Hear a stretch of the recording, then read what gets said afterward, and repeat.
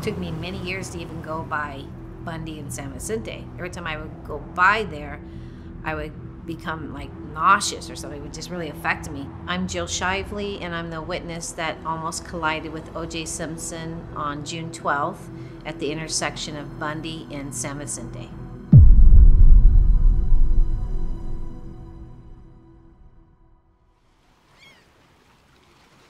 I moved to Santa Monica about 1980. I've been living there ever since, up until that time. In 94, I was in the same place I'd been since 1985. Uh, I knew the area really well. My store to go to all the time was Westward Ho, which was in Brentwood, about three miles from me. And um, so that night on June 12th, I got in my car around 1040 1045 at the latest and i um, i was heading east on san vicente trying to make it to westward ho by 11 p.m and as i'm approaching bundy is when i almost run into oj simpson's bronco. Uh, i would have probably have seen the bronco sooner but there were no headlights on his car I um, swerved to the right of me to miss him. He went up onto the median. There's a middle median right there to avoid hitting me. And I realized to avoid hitting a gray Nissan, also on San Vicente, heading west. So he had kind of both of us cornering him in. I'm staring at oh this person at the time I didn't know who it was and they're looking at me glaring at me as if I had done something to them. They were looking at me like, why did I almost hit them? They were glaring, giving me this angry look. And I was angry because I had a small little VW bug. I thought it was going to get hit and possibly killed being a single parent. I was really angry about that. So as I'm looking at him, he sticks his hand out of this car and yells at the Nissan to move, move. So they, they moved three times, going the same direction. OJ would back up, the Nissan would back up. Instead of going forward the opposite direction.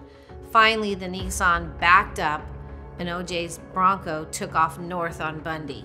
And his lights were still off. I remember seeing his brakes, tail lights, but his lights were still off. He didn't even turn them on um, when he yelled, move, move, I realized who it was. It was OJ because I had just seen the Naked Gun recent movie of him and I recognized his voice. I thought he was a drunk driver because why would you drive like that? He takes off, the Nissan backs up. He's still sitting there. We're watching OJ leave. And we kind of looked at each other.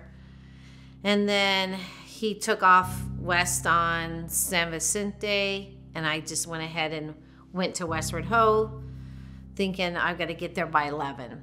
And when I got there, it, they, the salad bar was down. I didn't get what I wanted, and then I just turned around and went back home. I made the phone call to report him as a drunk driver before midnight. I remember it was before midnight when I called in. I looked up the number. It was like a three. Was I didn't call the 911, but I looked up West LA's LAPD phone number and I think it was on Butler, Butler Avenue. And I called that number and I called and reported him as a drunk driver. I wanted to let them know that this self entitled jerk was running around drinking and driving, and uh, they needed to do something about him. So the next morning, I, I was waking up early around 6 I remember calling my mom because I would take my daughter over to her place because she would take her to preschool. So I said, "Hey, you know, I want you to I want to tell you what happened to me last night. OJ almost hit me." She goes, "Oh my gosh, it's all over the news." Um, OJ's ex-wife and a friend were brutally murdered. The bodies of Simpson's ex-wife, Nicole Brown Simpson, and Ronald Goldman were discovered early Monday morning. Later, a police forensics team began a search of the crime scene and O.J. Simpson's I'm like, oh my God. So I was really, I felt scared at that time. She felt scared for me. And she was saying, um, but you better call them and let them know that and we kind of argue, We're not argue. We talked about stuff. No, but I called him last night, and I let them know what he was doing and what, that I reported him, and I had his license plate number. She goes, oh, no, no, no. You you should call again because I because I told her the whole conversation about me calling it in, and the lady who took the phone call was kind of dismissive of me. Well, no one was injured or hurt. You didn't crash. So what report am I supposed to basically take? So I said, okay. So okay, I'll call before I go to work. So I called again between six and seven. I think that before seven that morning, and I called West LA again. Said, hey, I want you to know what happened last night in case you didn't get that report or something didn't didn't you know you didn't get all the information. So this time when I called in, they were very attentive. They listened. Um, the license plate number, I told them I had it, and then they said okay. We took everything down, and then they had they said we're gonna um, we're gonna have some police come out to your home. And uh, I think the next day is when the police officers came out. Two police officers came to my home. Uh, I think on the 13th or 14th. Um, can't remember exact date.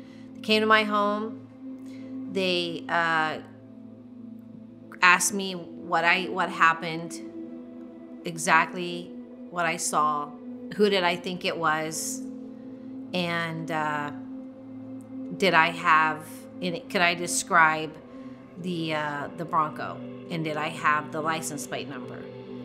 And I I told them, well, I know the last three numbers were 788. I can't remember if it was 3CWZ or 3CZW, but I said, um, I, I, have, I have those numbers down. It was a white Bronco with shiny rims, and the plate was a white plate. And then he wrote down the number on his card, and then he wrote down number down on a report.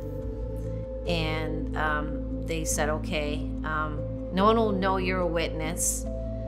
Um, so you just, you know, we we will protect you. No one will know that you're involved.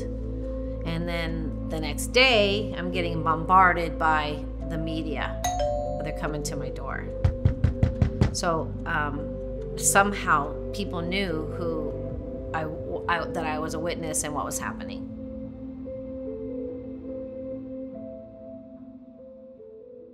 So David Conn um, was the original prosecutor on the case. He had just won the Menendez trial.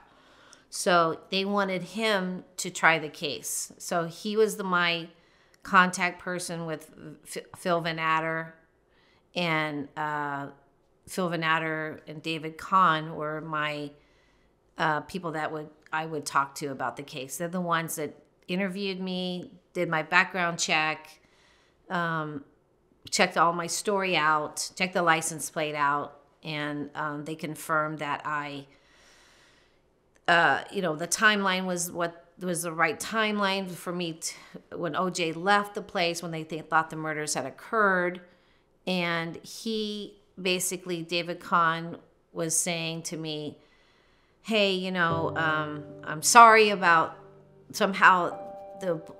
Your name got leaked. All the witnesses' names got leaked they're getting bombarded with with uh, media, um, and there you know it's not much we can do, but just you know try to try to stay away from the media, try to stay hidden, and uh, so then um, I had all these people come to my door. Hard copy came to my door.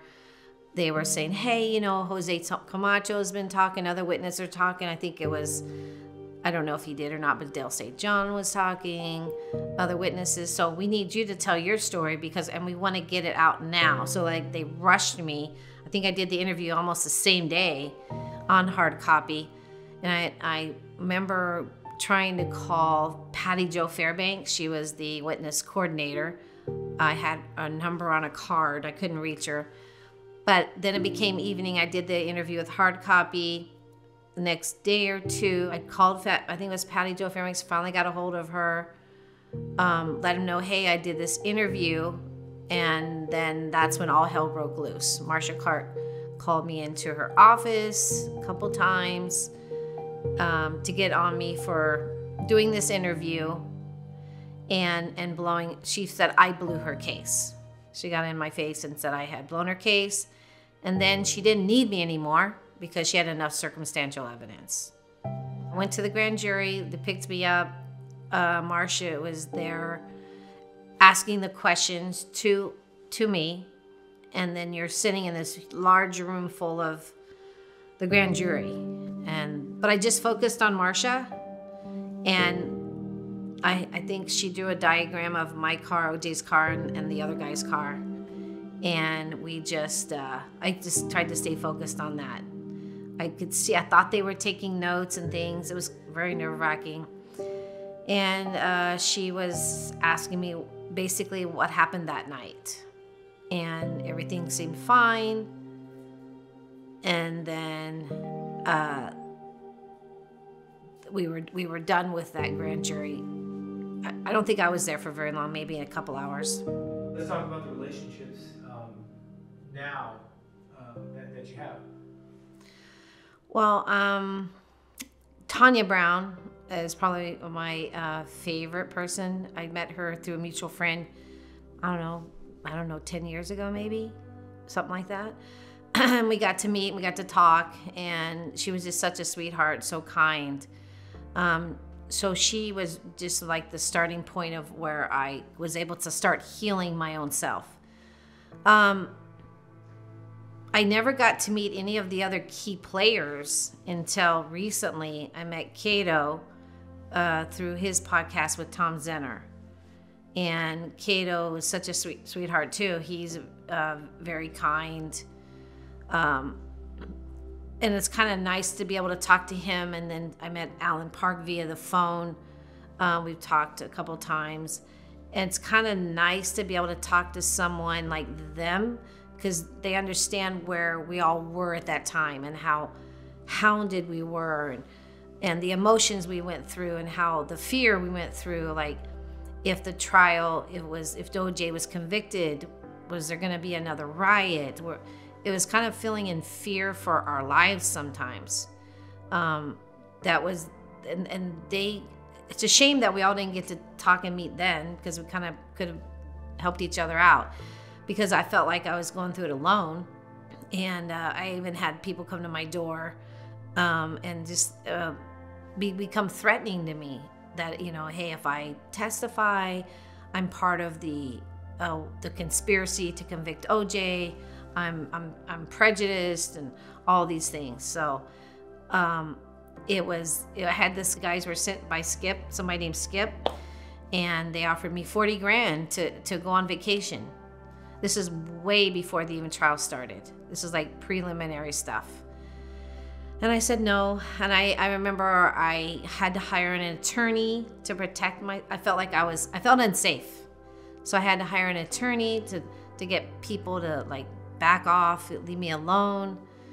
Um, it you just felt so unsafe and no one understood where where you were coming from. Even my family, we had to move from we were. We stayed at a friend's beach house for like two years almost. So, and my daughter, people following us around, and um, she didn't understand why people were peeping in her window at night, looking as I'm putting her to bed, and it was just there was, it was, it's so so invasive, and people were divided so so strongly, and. Um, they were just wanting to to make something out of of anything I ever said or did. So it, it was if I had the meeting like Tom Lang, who Tom Lang was always good to me from the very start. Him and Phil Vannatter, I loved them both. They were always my advocate. They stood up for me. Um, you know, they they were always very good people. They even they stood up they stood up for me against Marcia a lot. And they couldn't understand why you know she wasn't using me. They had run every background check they could ever run on someone. So um but again you, just felt so alone because you go back to your family and there i had some family members that i'm they were just not happy with the situation and uh, they didn't like it that um, this was happening. It was you know they were getting harassed by media. I think one of my older brothers, the National Enquirer, he wanted him to sell a story on me, and uh, so it, it was just all around. And this this case um, touched home right? Oh yeah. Um, well, my I, we have an I have an older sister in um, in August of '94. She was uh, beaten up and left for dead in a canyon by a, a boyfriend. So she, there was domestic violence case there too. At the time we got there, they had airlifted her to Henry Mayo up in Valencia, but by the time we got there, she had passed away. So yeah, I, after that, even I felt like this is blood money. I, I definitely not supported domestic violence or that issue. I have such a compassion and respect for them and love for them because I, I always make sure when we bring up one of their names, I bring up the other. If it's Nicole Brown, um, I want to make sure Ron's not excluded and vice versa because a lot of times people say one or the other and um, they were both there that night. And i don't want to make i want to make sure that none of them ever become forgotten. Ron was there um, i think trying to protect nicole. And uh, he died because he was trying to help nicole.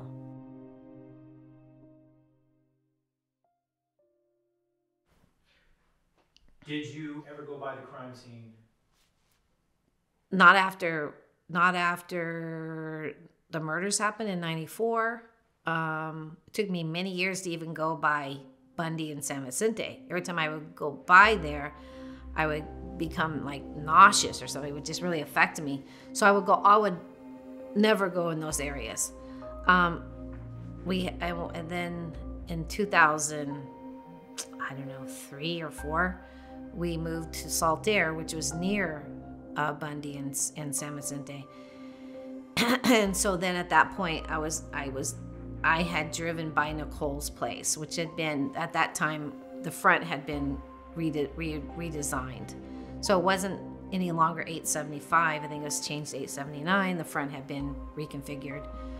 Um, but whenever i do go by there it's it just it's creepy to me and i feel like ghosts are haunting me. It's it's horrible.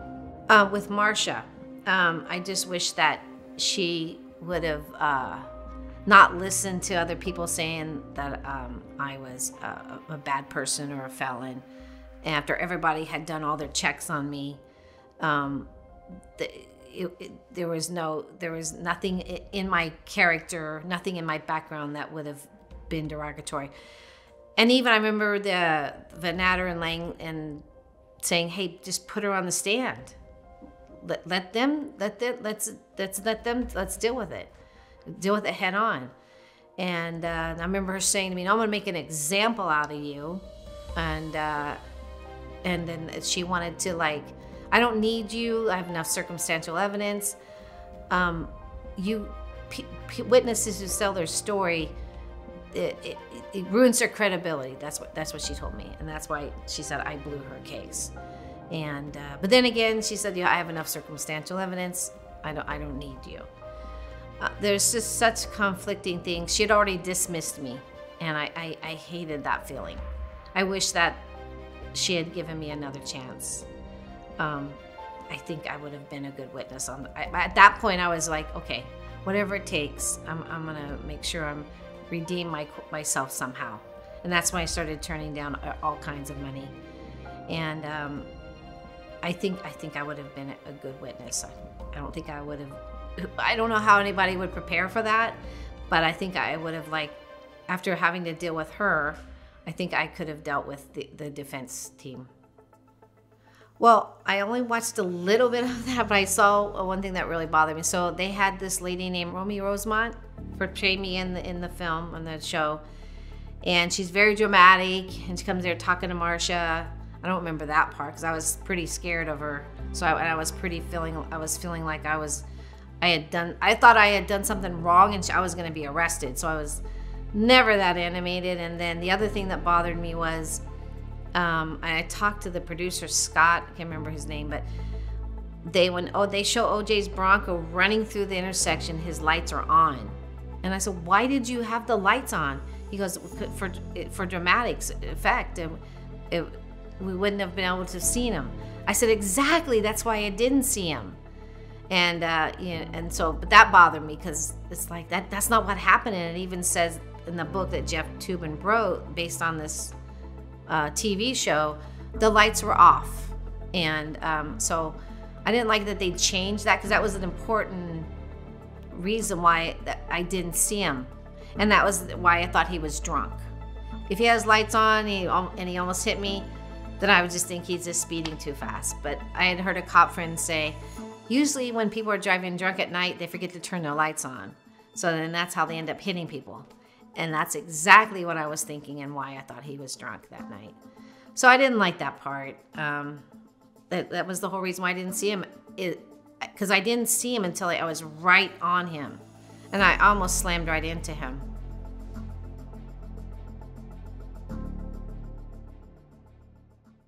It was very overwhelming. I felt very irresponsible. Um, I just felt like I had contributed to uh, OJ getting off. I, at that time, I didn't know what was going to happen, but I felt like I didn't contribute to. But whatever reason I was there, I didn't do my job, and I didn't. I didn't know. I, in hindsight, like that it would be a bad thing and I turned down over a hundred over a hundred thousand dollars from that point, trying to make myself credible in her eyes again. I turned down all kinds of all kinds of money, even though I'd lost my job because of this case. I had lost my job. I didn't have any money coming. I think unemployment. It was, it was, it was just changed our everyone's life, everyone in my family. It affected everyone. Um, so if I could go back and reverse that, I would never have spoken to hard copy. But it is what it is, and it doesn't change my story. I, I thought in, I thought at that time, like, oh my God, I'm a horrible person. I've done blood. I felt like I accepted blood money. I felt like this is the worst thing they ever could ever do. And I thought, oh my God, the families are going to hate me. And so I just felt horrible about my actions.